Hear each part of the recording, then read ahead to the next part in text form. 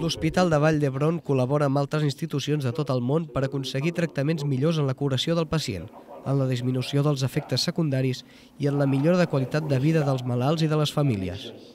Actualment, Josep Sánchez de Toledo és el cap de servei d'Oncologia i Hematologia Pediàtrica de l'Hospital Universitari de Vall d'Hebron. Jo em sento orgullós de pertenèixer a la institució a la que perteneixo, no?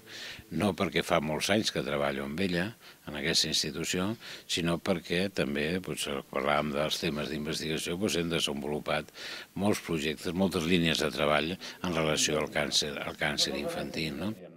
El 80% dels nens que pateixen càncer infantil es curen, quan fa 30 anys la supervivència era del 40%, i és gràcies bàsicament per tres aspectes – el primer és la quimiosensibilitat, és a dir, la reacció davant la quimioteràpia. El segon i el tercer són la cirurgia i la radioteràpia, només quan són necessaris.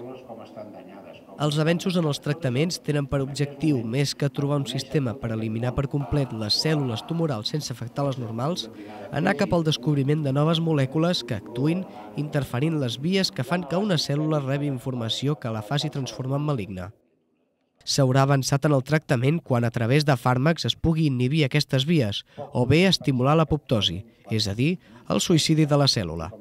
I, de fet, un fàrmac contra la leucèmia actua d'aquesta manera. El dimarts dia 15 rebrem la visita del geògraf Martí Boada per parlar-nos sobre l'evolució del massís del Montseny davant el canvi global. I res més.